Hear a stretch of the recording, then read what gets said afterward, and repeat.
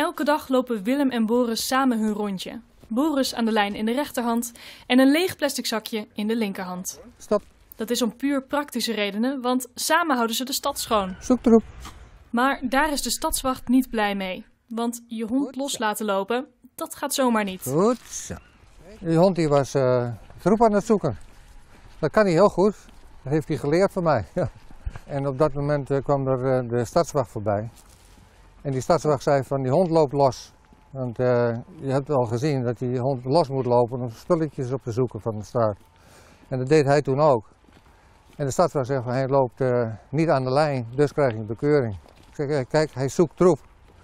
En dat is toch ook dienstbaar voor de gemeenschap. Maar dat telt niet, zei hij, want het, het is zo dat je de hond niet aan de lijn houdt. En dat is een bekeuring waard. Een bekeuring van in totaal 100 euro. En dat vindt Willem zo onredelijk dat hij de boete aanvecht en morgen voor de rechtbank staat. Edelachtbare, na de voorval kreeg ik een, bekeuring in huis. Ik wilde direct betalen omdat ik inderdaad de hond Boris los had laten lopen.